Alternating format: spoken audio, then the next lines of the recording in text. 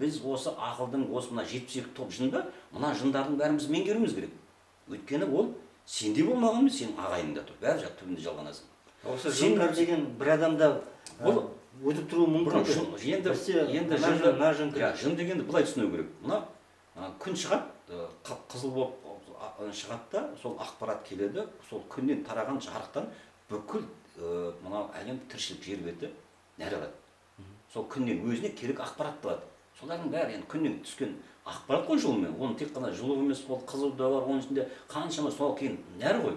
Енді біздің енді бүкіл жинаған осы айтқан сөзіміз істеген қылығымыз бүкіл неміз осылардың бәрін біз енді оны өзіміз тазартып оны қорытып қайтадан біз әруаққа айналдыра алмасақ қызыл шындық айналдыра алмасақ ішінде өтірігім көп ішімізде біздің істеген қылмысымыз да көп. Көп әртүрлі қара қуаттар қара қуатқа айналып кеткенде ол да жын деген қара күн. Яғни қазір аспанда бар ғой ана черный дыра деп жатыр ғой. Бәрін жұта береді да бір мезгілде ол жарық шығарады. Жын деген сол бәрін жұтады жұтады да бір уақыттарда ол өзінен сол жарықты шығарады. Жарыққа біз сол қара күнді мына бес күн жалған дейді бес күн қара күнмен байланысты көрдің бе бес күн жалған теріс. Яғни теріс күн. Сол бес күнді біз меңгеруіміз керек. Күн ол тұрған. Яғни сендегі бүкіл ақпарат өзінен саған күн болып. Мына жады жиналып тұр жиналып тұр сен соны меңгеріп жан жан бере алмайтын болсаң жалғай алмайтын болсаң сол күн барады да ертең кез келген хайуанға кіреді басқа деген кіреді да соның ішінде өмір сүре береді. Я болмаса кез келген өзіңе ұқсас адамға өмір сүре береді. Сенен шыққан ақпарат ол сен болып сөйлеп тұрады да ертең. Айболат болып кейін мүмкін мысалы жүз жылдан екі жүз жылдан кейін де ол айболат болып біреудің ішінде сөйлеп жүре береді. Бірақ сол сен сол сондай болып сен екі жыл үш жыл сол тозақта сөйтіп жүрмес үшін сен осы бастан осы жындарыңды меңгеру керек та. Бірақ осы жындарды меңгерген іблістің енді ұрпақтары дейді қазір біздің масқапшысынан бастап діншінің бәрі жын туралы теріс белгілі халықты қорқытып қойған да. Қорқыныш болған кезде жын саны кіреді. Көрі көзге біздің біліміміздің бәрі жыннан шайтаннан қорқамыз. Біз өзімізден өзімізді қорқытып қойған да. Мінекей керісінше керісінше сен өзіңде қандай жын бар екенін білуің керек та түсінуің керек. сонымен күресу иә керек өзі сонымен күресу керек. Мен енді сен мына бір енді оны осыған тағы бір тағы бір тәпсір бар. Бір дін имамына бір ұстаз ғой енді. Соған келген екен шәкірт. Келіп айтты мен сізге шәкірт боламын мен сізге шәкірт болайын. Сіз маған үйретіңіз сіз не істеуім керек? деп. Мына сен бізге келген сияқты ғой. Сонда айтты онда сен есіктің алдында тұр деп біраз күт депті. Есіктің алдында әрі тұрған бері тұрған ғой.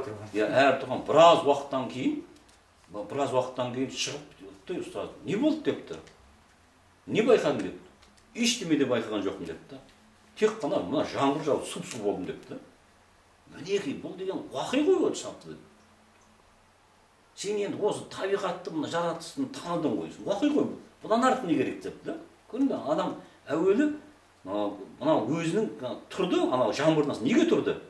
Босқа тұрды су су болды. Яғни ақымақтығын түсінді да сондықтан мінекей уақи деген осы ғой депті ол.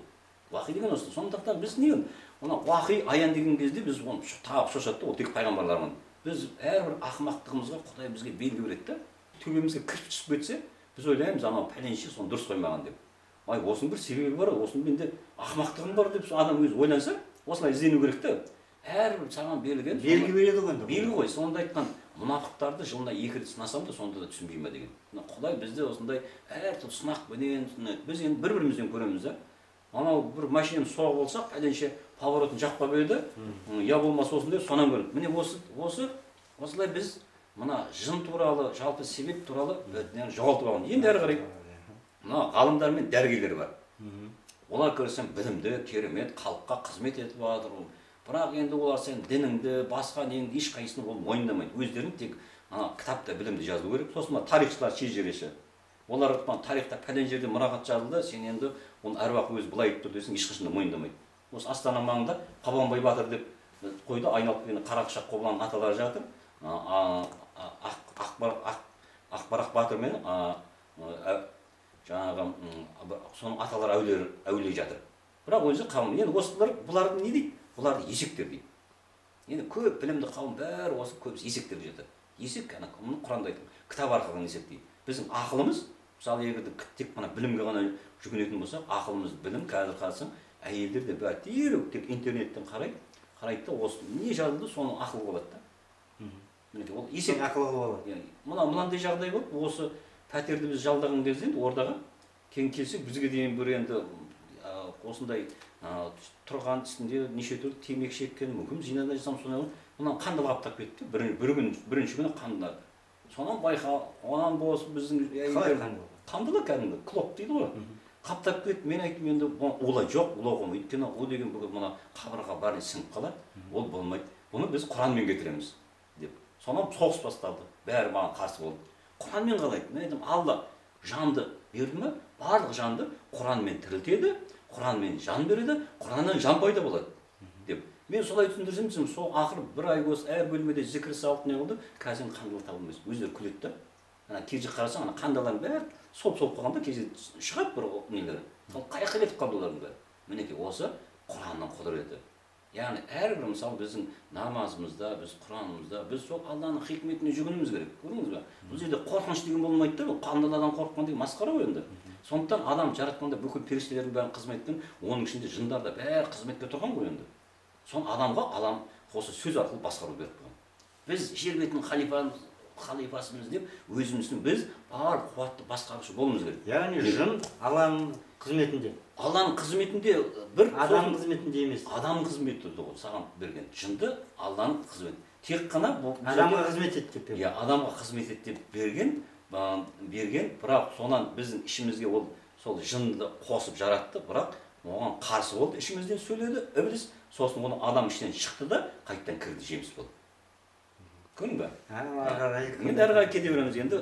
Ол мына шыршамен байланысты мына бұрынғы жанаттағы енді жанатта періс енді мына экстремизм деген бар. Қазір айтып жатыр экстремизммен соғысамыз біз бәрін заңмен өтеміз бәрін не айналып келгенде біз қазақ бір бірімізді соғып өзіміздің балдарымыз.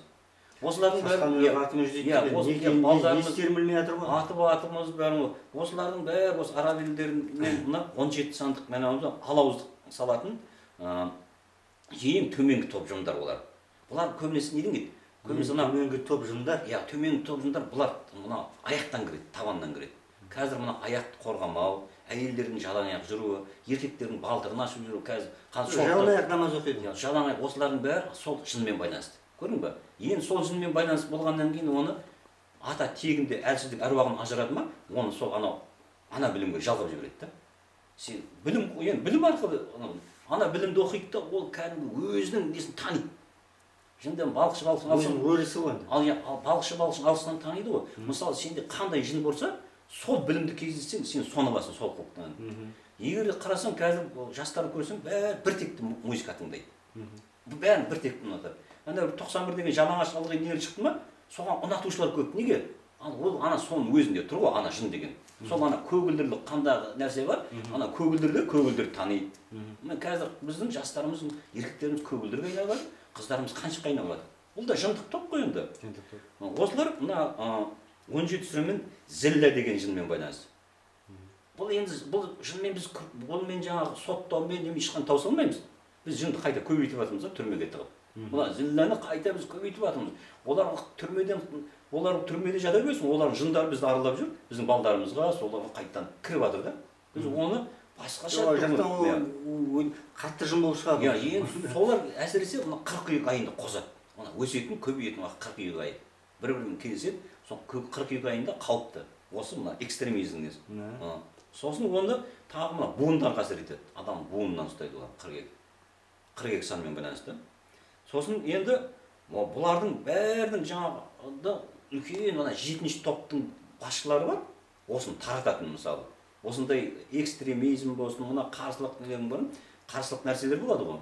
Осы мына бөлек кешеде кө- көшеге шығып айқайлап кету өздері мына кезінде ана желтоқсан деп айтты ғой желтоқсанда біз деген егемендік алдық. Біз егемендік алған жоқпыз. Желтоқсанда біз жастарымыз қыруға сондай неге бердік та соны қазір мақтан қыламыз. Осының өзі сол жымпиты деген жынның басқаруында бар. Біз сол кезде қазақ халқы біз жындандық. Көшеге шықтық бар қиратты тасталды машина өртеді енді әрине ол кезде әскерменен үкімет қарсыласады ғой. Оны бейбіт түрде шешуге болатын еді да. Сол кезде соны қазір бірақ енді оны шешілмеді әшейін босқа біздің қырылған мазақ болған уақытымыз болды да. Соны қазір енді біз қайта қайта бұл деген біз азаттық күніміз дейді. Бұл жындылық күніміз айналып келгенде. Өйткені неге?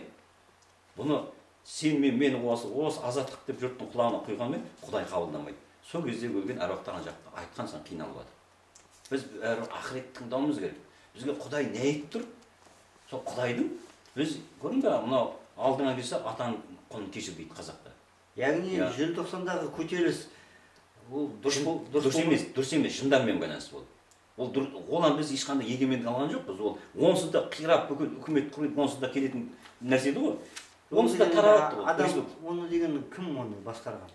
Оны сол жындарға жындар кіріп кетті да а жұрт көтеріліп кетті ана жымпиты жын басқаны соған кетті ана жын қуаттарына ашуланған кезде кіріп кіріп алды да сосын жастар не істегенін білмеді кәдімгі қолдары тас алды не қылды сындырды қиратты.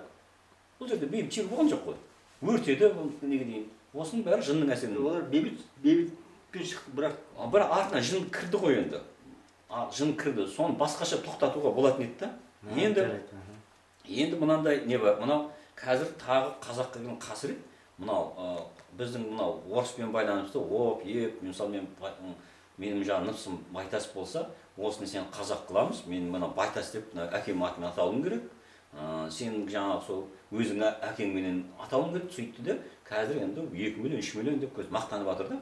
Осыларда мына ә, бұнда не пайда болады? Бұдан мына адамдағы мына керісінше біз ә, жындық жалғанудан ажыраймыз. Көрдің ба? Біз не мына дайын алып тастағаннан кейін ба? Иә офты алып тастағаннан кейін біз ана мысалы орыстық ана жүйе ғой олар орыстың өзі бір біз белгілі біз ұлт белгілі бір жындық қуатты өндіреді. Орыстар мысалы сошхаз жейді қуат қой ол да. Соны ретте біз мысалы дайын қуатты аламыз да адамдық қуатын. Сол екі ортадағы фильтр сөзге қой енді ол. Соны алып тастағаннан кейін мына біз қазақ халқында шайтандық қуат көбейді қазір. Шайтандық қалай сонда оқты алсаң ол мынау, керісінше қазақ болмай ма? Қазақ қа- қарасайық керісінше біз қазақ дегенді ойлаймын біз қазақша сөйлеген бар қазақ әлемдік мына негрмен де жалғанып тұр екі жүз мына нәсіл бар сонымен жалғанып фамилиясын сен алып тастағаннан кейін фамилиясын алып тастағаннан кейін мысалы иә обының сен мына ә, сенде бір қасиет бар. Яғни бір ә, шығармашылық қасиет бар. Ә, басқа бір сенің бір соны лермонтовпен жалғануың керек. Сен шолоховпен жалғануың керек. Сонан сен мен мынау бұны неге айтып тұрмын айтты? қарашы сондай қуат алуың керек та сенде сен лермонтов шолоховпен соны сен оп арқылы жалғанасың. Ол алып қалады. Мына төртінші хандық тектік жоғалып кетеді сол сияқты енді орыстың бәрі шетіне бір ара емес қой ол олар да ғылым өндіріп жатыр олар да адамдық қасиетті меңгеріп жатыр қазір мысалы қазаққа қарағанда орыстардың ғалымдары орыстардың инженерлері көп қой. Осылардың бәрі иванов петровтардың бәрі бір бәрі бір кәпір болып жатқан жоқ қой.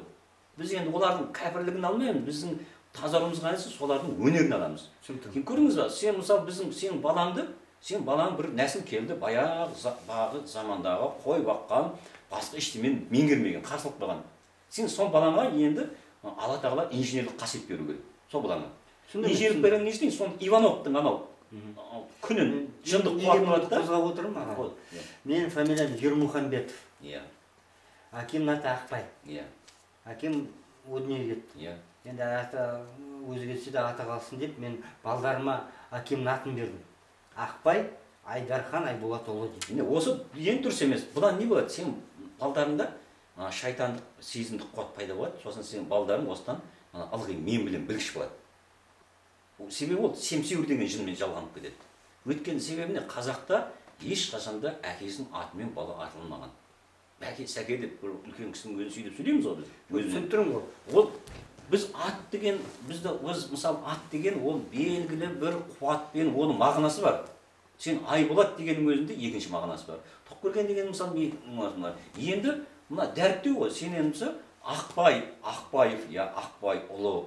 Ақбай тегі дегеннің өзінде де негізі енді ол қандай жағдай? Бұл жерде бұл талас кете береді да мысалы мен былай десем басқа екінші біреу басқа көзқараста болады бұл жерде біз енді құдайға жүгінуіміз керек та. Құдай не дейді? Ол құдай аянда. Мысалы сен намазың бәрі бес уақытың толық бір құдайға сондай аянға жалғанып тұрсаң сен намазыңнан сұрасаң саған жауап келеді маған жауап келді. Мен сұрадым. Сол күн кезде маған мынандай деді. Сенің байтасов деген мынау фамилияң болсын ортасында тұрсын деді. Мінекей атың басында тұрсын деді мен мына құжатымда тер, теріс жазылған. Тоқберген байтасов кескір ұлы болып жазсын деді енді ол аянмен осындай берілгеннен кейін осындай құдайдан не үкім түскеннен кейін енді ол дұрыс емес құдай қателесті деуге бола ма? Ал жерде қане мақұл мен енді маған енді жындардан келген шығар. Енді солай болсын ал енді мен дұрыс ол аян болмаған шығар. Мен тақуалығым сәйкеспін онда сол тақуалы мықтылар сұрасын сол солай болу керек та сұрасын өздері. Сұрату керек Әрі қарай. осындай семсеуірмен енді осыдан енді бұндай жағдайдың не ұрпақтар семіз дертінен шығады дейді. Сосын тек дайын ғана білімге ғана құштар болады дейді. Мына неге ізденімпаз болмайды дейді. Тектіліктің ір- іргетасынан ажырайды дейді. Көрдіңіз ба өйткені себебі неге? Біздің мәшһүр жүсіп біздің мына барлық оп боп кетті совет үкіметіне кетті ғой. Қаншама біздің аталарымыз. Солардың бәрін біз енді қалай жалғанамыз?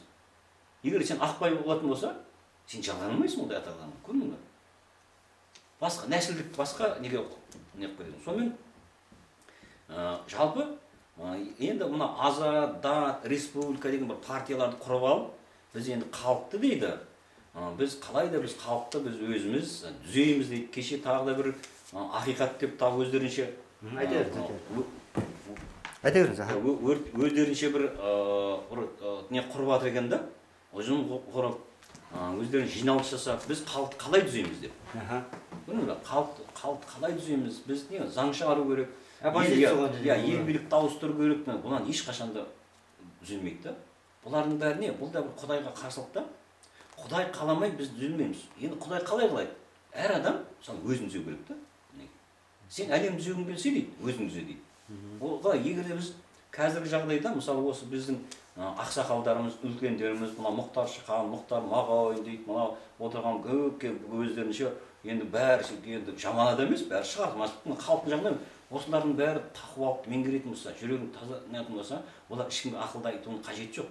Сол өздерін өздері сондай жоғарғы біздің бабаларымыз абай шәкірімдердей сондай даналыққа жеткізсе сол даналық кейінгі мына жастарға өзінен мысалы бір адам он адам түзейді жүректен жүрек ауысады да иман болып енеді. Сонда яғни өріс өрісін иә өрісіне өрісіне енеді бір сондай мысалы мұхтар шахан сондай бір тақуа керемет болса он мұхтар шахан пайда болады да. Осы халықтың арасынан ол міндетті түрде бір рудан болу емес сол сияқты біздің елбасымыз сол даналыққа жететін болса сондай он нұр сұлтан пайда болады да. Керісінше қазір он жынды нұр сұлтан бар. Тек қана жындылықпен байланысты ғой. Тек қана арыстан сияқты тек қана біз дүниеменен осы елді басқарамын дейтін. Біз нені қылсақ соны көбейтеміз біз.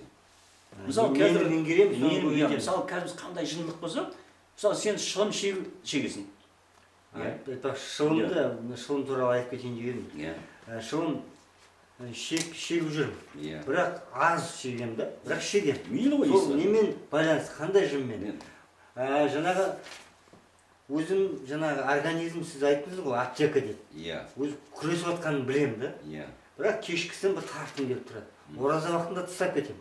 Бір жиырма күн тартпай жүремін де бірақ әдет қалса да не қалады? Ауру қалмайды дей ма қалай? Еді ауру қалса да әдет қал- қалмайды дей ма? Ауру қалса да әдет қалмайды дейді. Міне қазір осы шылым шы- шылым шегетін өзі белгілі бір жындардың қуатымен байланысты. Ол енді қара енді ол сен шылым шеккен кезде жаңа бір не қыласың да бір иіс ә, біреу әжетханаға барды иә тамақтан кейін сон- сондай бір жағдайда сосын шылым шеккен бойы сен не іздейсің бір сол уақытта бір ой келеді бір неше түрлі ой келеді да Иә, өзіңді өзің сосын- тербетесің иә өздерін тербетесің көбісі сондай отыр мен ойланып отырмын дейді шылым шеккен кезде енді бұл немен байланысты отыз төрт санды мәндік не бар жындар тобымен байланысты отыз төртінші құрандағы сүрменен оған үкіміне қарсылық қарсылық білдірумен байланысты құранның отыз төртінші санды үкімдеріне қарсылықпен кезінде бұлар дейді ә, періштелердің қарғысына қалғандар.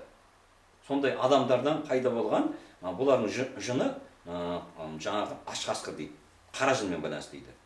Ә, және, дейді бұлар ә, шайтандарға да қосылатын жындар. Егер де сен сол темекіні саған шайтандық оңай не қылады енді бір жағынан енді сенде жалғыз ғана тек осы осы ғана қылың сенде басқа да жынның қуаттары бар. Соны бір бірімен қарама қайшы. Болып тұрады да. Кейде бір бір жының саған бұның керек емес деп тұр маған мұсылмандық сен ізденіп жүрген? Бұның керек емес таста дейді. Екіншінің қарсы болып тұр мінекей бұл жерге арасы не керек? Бұл арасына алладан нұр керек. Сенде жаның қуаттанады да жан қарсыласса сен ешқашан темекіңді бірден қойып кетесің да.